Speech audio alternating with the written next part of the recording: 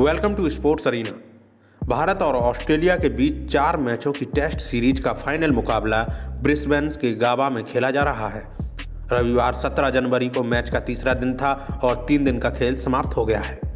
भारतीय टीम अपनी पहली पारी में सभी विकेट खोकर 111.4 ओवर में 336 रन बना पाई। इस तरह ऑस्ट्रेलिया को 33 रन की बढ़त मिली। ऑस्ट्रेलिया की टीम ने 6 ओवर में बिना विकेट खोए 21 रन बनाए हैं।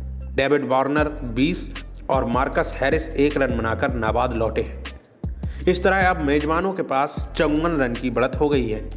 इस मुकाबले की बात करें तो ऑस्ट्रेलियाई टीम ने टॉस जीतकर पहले बल्लेबाजी चुनी थी और मार्नस लाबुसैन के शतक के दम पर कंगारू टीम ने तीन सौ उनहत्तर रन का स्कोर बनाया था। वहीं भारतीय टीम दूसरे दिन सिर्फ़ एक सत्र खेल सकी क्योंकि बारिश ने मैच में खलल डाल दिया था।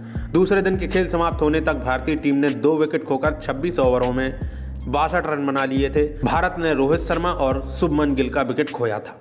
भारत की पहली पारी शार्दुल और सुंदर की फिफ्टी।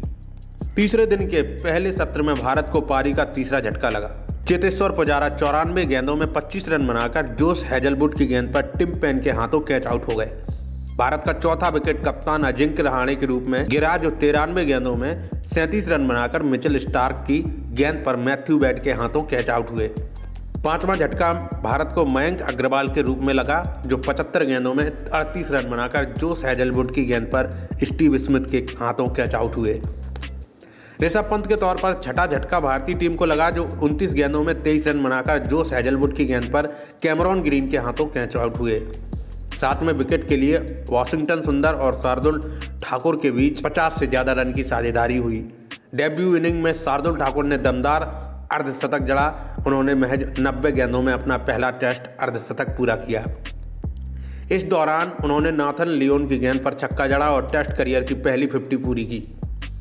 शार्दुल के बाद वॉशिंगटन सुंदर ने भी अर्धशतक जड़ा। उन्होंने 108 गेंदों में अपने इंटरनेशनल करियर का पहला अर्धशतक जड़ा। भारत को सातवां झटका शार्दुल ठाकुर के रूप में लगा, जो 115 गेंदों में सड़सठ रन बनाकर पैट कमिंस की गेंद पर क्लीन बोल्ड हुए। आठवीं सफलता ऑस्ट्रेलिया को जोस हैजलवुड ने दिलाई। उन्होंने नवदीप सैनी को पाँच रन के निजी स्कोर पर स्टीव स्मिथ के हाथों कैच आउट कराया। भारत को नौवां झटका वॉशिंगटन सुंदर के रूप में लगा, जो बासठ रन की दमदार पारी खेलकर मिचेल स्टार की गेंद पर कैमरॉन ग्रीन के हाथों कैच आउट हुए।